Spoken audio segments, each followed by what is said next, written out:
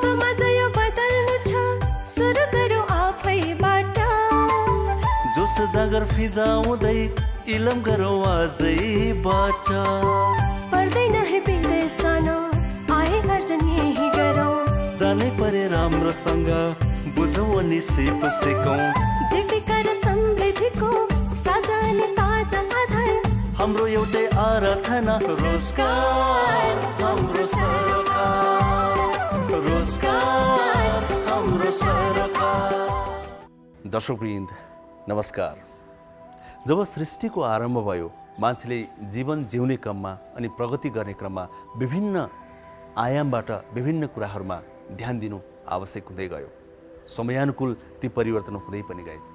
तर सधैँभरि एउटा कुरा भने साझा रूपमा रहि नै रह्यो तरिका मात्रै फरक भयो। त्यो हो रोजगारीको कुरा अर्थात् कामको कुरा। काम जसले हामीलाई माम दिन्छ घाँस बाँस कपास दिन्छ अनि जीवन पनि दिन्छ। त रोजगारी अर्थात् काम कसरी खोज्ने? त्यसमा पनि विभिन्न आयामहरू छुट्याइए छुट्टिँदै गए।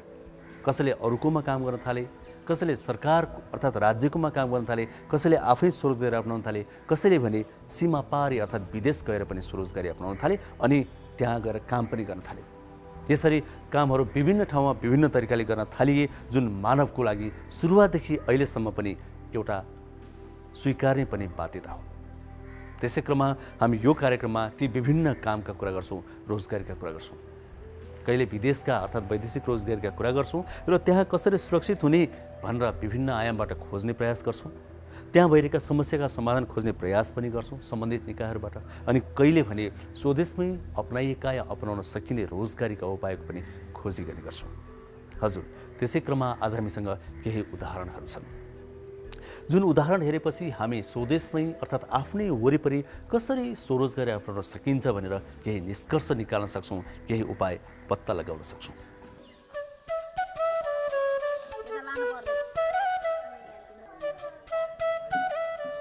चुडामणि भुषालको घरमा हामी पुग्दा उनकी श्रीमती र उनी बाख्रा फुकाएर बाहिर सार्दै रहेछन्। किनकि बाख्रा राति खोरमै बस्छन् दिउँसो चाहिँ बाहिर सार्ने गरिएको छ। चुडामणिको खोरमा विभिन्न जात र उमेरका गरी जम्मा छयालिसवटा बाख्राहरू छन्। अहिले साइनबोर्ड राखिसकेका छैनन् तर दर्ता भने गरेका छन्। नवदुर्गा पशु फार्मको नाममा उनले यो बाख्रा फार्म। केही बेर हामी यहाँ पनि अल्मलिन्छौँ र चुडामणिसँग कुरा गर्न थाल्छौँ। यी बाख्राहरू पनि यहाँका लोकल बाख्राहरू नै छन्। अनि त्यसपछि जमुनाबारी भन्ने पनि छ अनि यहाँको लोकल छ। अनि त्यसपछि मैले त्यो बेठेको रूपमा दुईवटा मसँग अहिले साढे सैँतिस पर्सेन्टको बयर जातको दुईवटा बोका पनि छ।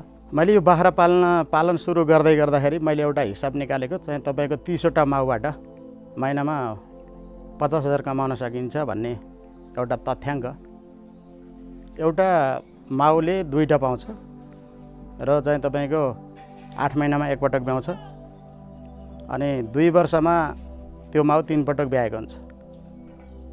तिसवटा माउले एकपटकमा साठीवटा ब्याउँछ साठीवटा पाउँछ। त्यसपछि साठीवटालाई हामीले कम्तीमा पनि पाठो त अब पन्ध्र सोह्र हजार पर्छ भने अनि त्यो पाठीहरू पनि आठ दस हजार परिरहेको अवस्था हुन्छ। त्यति बेला कम्तीमा पनि हामीले दस हजारको रेटमा मात्रै कायम गरियो भने पनि साठीवटा बेच्दाखेरि छ लाख रुपियाँ पर्छ। अनि दुई वर्षमा तिन पटक ब्याउँदाखेरि सरस्वती यता माउहरू मात्र हेर्दाखेरि पनि त्यो तिन पटक ब्याउँदाखेरि छ त्यहाँ त्यो दस हजारको दरले छ लाख पऱ्यो छ त्यहाँ अठार लाख हुन्छ। अठार लाखमा दुई वर्षको हिसाब हो त्यो अठार लाख। अठार लाखमा कम्तीमा पनि हामीले छ लाख रुपियाँ दुई वर्षमा पालन पोषण आदि इत्यादिलाई राखियो भने पनि बाह्र लाख रुपियाँ बचत हुन जान्छ। र त्यो बाह्र लाखको हिसाब भनेको महिनाको पचास हजार रुपियाँ हो। दस कट्ठा जमिनमा हामीले लगाएको घाँसहरू अब यो वर्षको तिन पटक चार पटक अथवा पन्ध्र सोह्र पटकसम्म काटिने घाँसहरू पनि छ। त्यो घाँसहरू लगाउन सकियो भने हामी चाहिँ मलाई लाग्छ विदेश जान पर्दैन जस्तो लाग्छ। हाम्रो यहाँ कतिपय भाइहरू अब मैले मेसेन्जरमा कुरा गरिरहेको हुन्छु। अब तिस हजार छ पैँतिस हजार छ बाइस हजार छ पच्चिस हजार छ पैँतालिस हजार बच्छ। आदि इत्यादि कुरा गरिरहनु भएको छ। उहाँहरूको हेर्दाखेरि यहाँ पन्ध्र सोह्र अठार एक बिघा जग्गा पनि छ। आखिर यो हामीले सबै कुरा स्रोत साधनहरू जुटाउन नसकेको कारण पनि हामीले अर्काको देशलाई हेरेर मुख ताक्न परेको अवस्था हो। हामीले आफ्नै जमिनमा घाँस लगाएर यसरी नै बाख्रा पालन सुरु गरियो भने अवश्य पनि एउटा सफलतामा पुग्न सकिन्छ। परिवारभन्दा बाहिर जानु पनि पर्दैन। आफ्नो देश छोडेर विदेशिनु पर्ने अवस्था पनि हुँदैन। भन्ने कुरा मैले स्पष्ट देखेको छु। यसरी आफ्नै ठाउँमा बसेर वरिपरि भएको स्रोत साधन प्रयोग गरेर घरकै तातो खाएर कर्म गर्नुको मजा र महत्त्व नै बेग्लै छ जुन क्रमशः समाज रूपान्तरणको एक असल सुरुवात हो। जुन कुरा यहाँ हामीले भेटेका जनप्रतिनिधि पनि यसरी स्वीकार्छन्।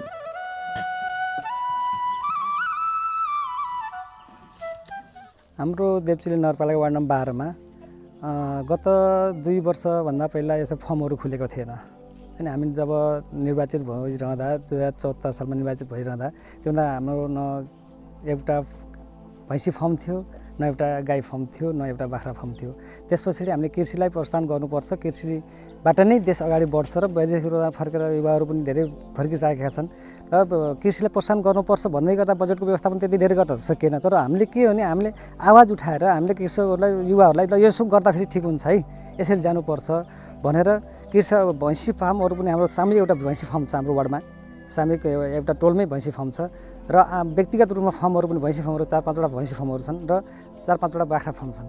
र हाम्रो यहीँ विदेशबाट फर्किसकेर युवाहरू आइसकेपछि पनि युवाहरूले यो कोरोनाको बिचमै कहरमा आए फर्केपछि पनि आएर फार्महरू खोल्नु भएको छ घरेलु उद्योग छ। कृषि सम्बन्धी कृषि सामूहिक कृषिहरू गर्ने गर्नुहुन्छ हाम्रोमा। त्यस्तो छ। एकजना व्यक्तिले घर परिवारलाई विदेशबाट कमाएको रकमले त्यति मासिक रूपमा उसले त्यति जति सक्यो भने त्यो पठाउन नसक्ला यहाँ त्यति कमाउन नसक्ला तर बिस्तारै यसले पिकअप लिनेछ। र यहाँको युवाहरू कमसेकम एकजना व्यक्तिले आज गर्दैछ भने परिवार सम्मिलित हुन्छ परिवारले एक दुईजना रोजगार दिन सक्छ बिस्तारै यसलाई पिकअप लिने कुरा हुने रहेको छ। यसरी नवलपरासी सुस्ता पूर्वको हाम्रो यात्रा केही कर्मशीलहरूसँगको साक्षात्कार र छायाङ्कनमा व्यतीत हुन्छ। जुन सबैका लागि प्रेरणा बन्छ भन्ने अभिप्राय हामीभित्र बिस्तारै पलाउँछ। काम सानो या ठुलो हुँदैन परिश्रम गरे यही सुन फल्छ र स्वर्ग भेटिन्छ भन्ने मूल मन्त्रलाई व्यवहारमा उतार्ने यी जाँगरिला व्यक्तिहरूलाई सलाम गर्दै हामी थप यात्राको योजना बनाउन थाल्छौँ।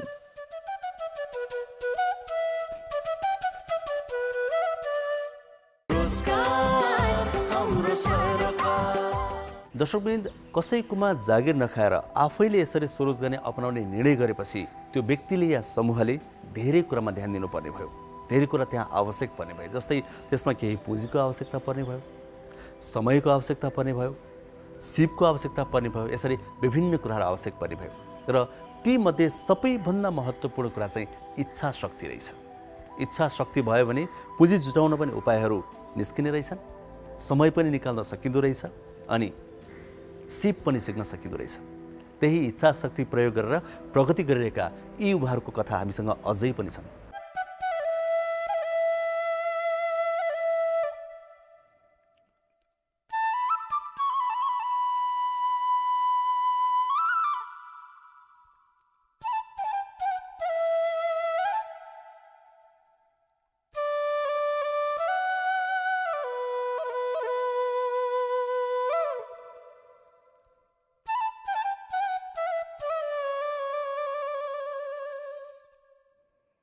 ललितपुर जिल्लाको गोदावरी नगरपालिका वडा नम्बर छ टिका भैरवका प्रकाश टोटेल जो पहिला क्रसर उद्योगी थिए क्रसर व्यवसायी पनि थिए।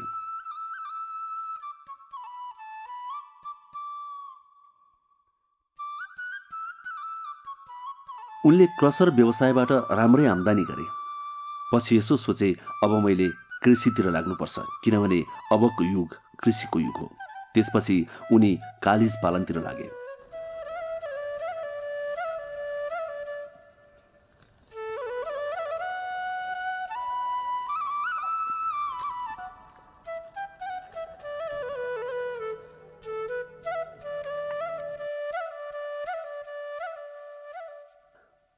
अहिले उनको यो फार्ममा करिब करिब चौध सयवटा जति कालिज छन्। अठार सय थिए केही बिक्री भए केही मरे अहिले चौध सयवटा जति छन् भन्ने अनुमान छ।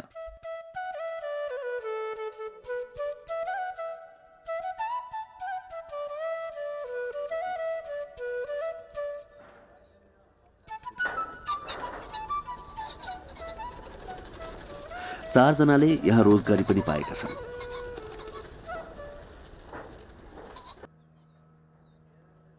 कालिजको मासु निकै महँगो हुन्छ। एउटा कालिजको पैँतिस सय रुपियाँ पर्छ। तौल जतिसुकै होस् सालाखाला पैँतिस सयमा बिक्री गर्छन् उनी। अहिलेसम्म बेच्न कतै बजारमा लानु परेको छैन यही नै आएर मानिसहरूले किनेर लान्छन्। उनले कालिज फार्म आफ्नै जग्गामा सुरु गरेका हुन्। उनको पुर्ख्यौली जग्गा हो यो। केही अरूसँग किनेका पनि छन् केही भाडामा पनि लिएका छन्। किनभने कालिजको लागि घाँस रोप्नुपर्छ। जै घाँस रोपेका छन् उनले केही जग्गा भाडामा लिएर। तर त्यही घाँस कालिजलाई खुवाउने गर्छन् अनि दाना पनि खुवाउने गर्छन्। आफ्नै पुर्ख्यौली जग्गामा आफ्नै घरमा बसेर यसरी व्यवसाय गर्दा उनी निकै नै खुसी छन्। अब यो कालिज कहाँबाट ल्याउने भन्ने युट्युबबाटै मैले हेरेँ दुई चार ठाउँमा। त्यही युट्युबबाट चाहिँ यहाँ यहाँ पाइन्छ भन्ने कुरो थाहा भयो। त्यो अनुसार गएर कालिज किनेर ल्याएँ। च कालिजको एक दिने चल्लाहरू। अनि पहिला त मैले घरमै हुर्काएँ कालिजको चल्लाहरू। घरमै कोठाभित्र हुर्काएँ। एक महिना करिब एक महिना घरभित्रै हुर्काएँ। अनि त्यस पछाडि अरूको स्ट्रक्चरहरू अरूले कहाँ बनाएछन् भनेर सम्बन्धित ठाउँहरूमा पालन गरेको ठाउँमा गएँ। त्यो अनुसार चाहिँ सामानहरू जम्मा गरेर अब यो नेट कहाँ पाउँछ यो तारजाली कहाँ पाउँछ यी सबै बुझेर अनि त्यो अनुसार चाहिँ मैले यहाँ यो फिल्ड तयार गर्दा के गर्ने भन्दा सम्म राम्रो जमिन किनिदिने यसलाई भन्ने भयो। अनि भिरालो जमिन सदुपयोग गर्दाखेरि चाहिँ यो भिरालो ठाउँमा चाहिँ मैले यो कालिजलाई राखेँ। सम्म जमिनमा चाहिँ अब तरकारी खेतीहरू यो रिसोर्टहरूको लागि चाहिने चिजहरू तयार गर्दैछु। यो मजाले बिक्री भइरहेको छ हामीकोमा अब कालिज शीर्षकमा अहिले पचास साठी लाख रुपियाँ जति खर्च भएको छ। अब उतापट्टि खर्च हुन्छन्। अब यो ऊहरू बनाउनको लागि। अब त्यसको लागि अब लगभग डेढ करोड जति भयो भने पुग्छ भन्ने सोचिरहेको छु। कालिज पाल्नलाई सबैभन्दा पहिलो कुरो त यो जुन चल्ला हुर्काउने हो नि यो चल्ला हुर्काउनु सबैभन्दा सेन्सिटिभ चल्ला हुर्काउनु रहेछ। एक दिनको चल्ला ल्याए एकै दिनको चल्ला चाहिँ ठुङ्गाठुङ गर्छ। त्यसलाई चौबिस घन्टा चाहिँ मान्छेले त्यसलाई छुट्याएरै बस्नुपर्ने रहेछ। जब दुई महिना पछाडि हामीले यो भित्र फिल्डमा छोड्छौँ त्यस पछाडि समस्या छैन। दुई महिना बिच एक दिनदेखि दुई महिना बिचमा चाहिँ यसलाई हुर्काउन बडा कठिन छ। अब किन्दाखेरि सबै अब त्योभन्दा महँगो भन्ने भए अनि एकचोटि विदेशबाट ल्याउन के हुन्छ त भनेर मैले पनि ट्राई गरेँ। त्यस पछाडि मैले यो दर्ता प्रक्रियामा लागेँ। दर्ता प्रक्रिया यति झन्झट रहेछ। घरेलुमा गएर दर्ता गर्नु खोज्दाखेरि वन विभाग कृषि हुँदा हुँदा पशु क्वारेन्टाइन शाखासँग पुग्नुपर्ने रहेछ। ती सबै ठाउँमा प्रक्रिया गरेर युरोपबाट अन्डा ल्याउन सबै मैले प्रक्रिया गरेँ। जब प्रक्रिया हुँदै गयो अब यहाँ किन्दैन महिनाले धेरै महँगो भने भनेर। युरोपबाट मलाई प्रफमा आयो। चैत चार गते यता गभर्मेन्टबाट पनि स्वीकृति लिएँ। एक्कासी उता चाहिँ पैसा पठाउनु खोज्दाखेरि उता चाहिँ लकडाउन भइसकेछ युरोप। त्यो ल्याउन नसक्दा पछाडि दुई महिना म अलमलमा परेँ। अनि फेरि बिचमा जहाँ बिचौलियासँग जे जस्तो अवस्थामा पाउँछ।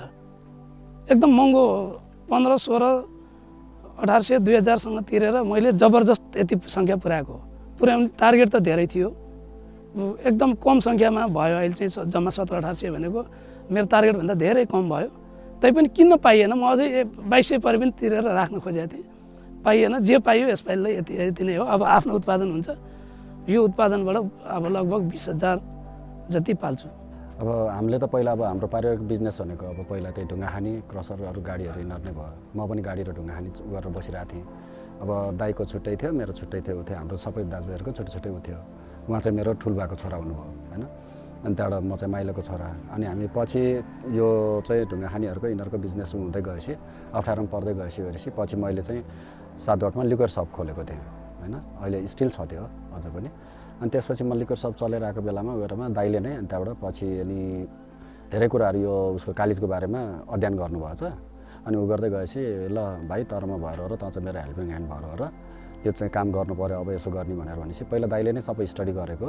अनि त्यसपछि ल त्यसपछि ल यसो हेर्नु जाउँ भनेर र दाइले पनि मलाई सँगै लिएर गएपछि गरेपछि अनि त्यसपछि आएर धेरै ठाउँमा बुझेर र त्यसपछि अनि हामीले यहाँ सुरु गरेको जागिर भनेर हिसाबले त खाइए छैन होइन? त्यही भएर कारणले गर्दा पहिल्यैदेखि अब बाउहरूकै पेसालाई अँगाल्दै आइयो होइन?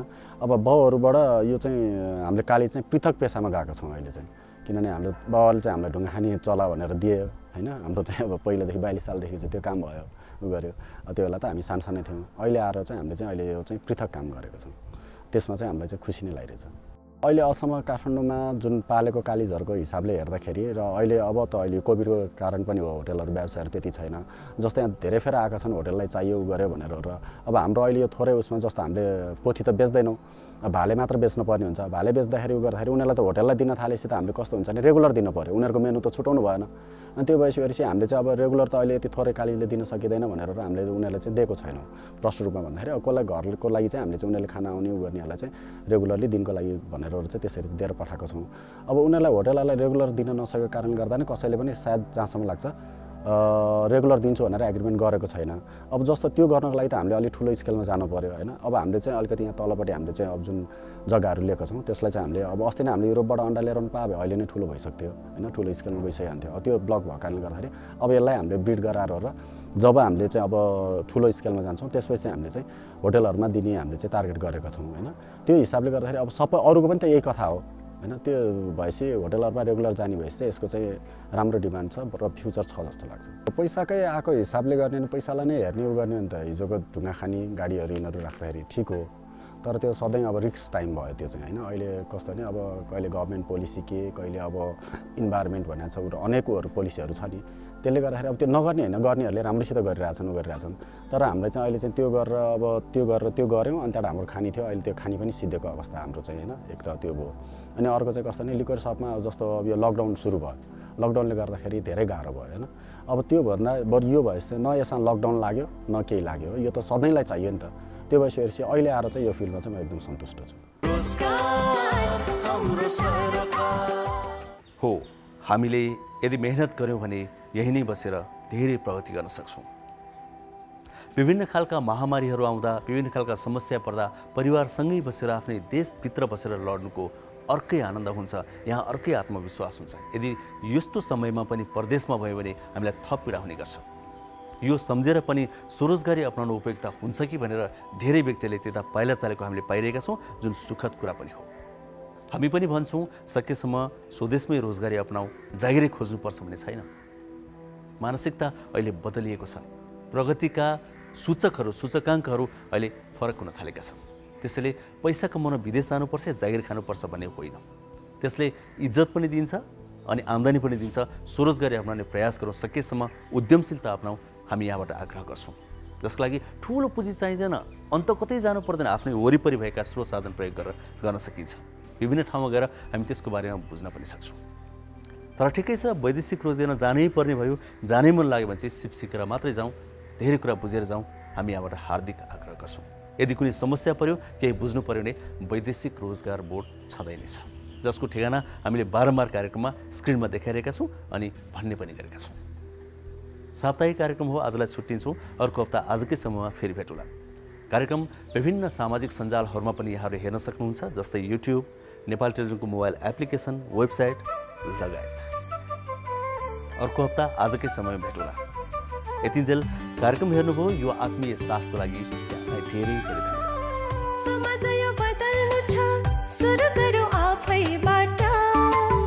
जोस जागर फिजाउँदै इलम गरौँ आजैबाट पर्दैन है विदेश जान आए अर्जन यही गरौँ।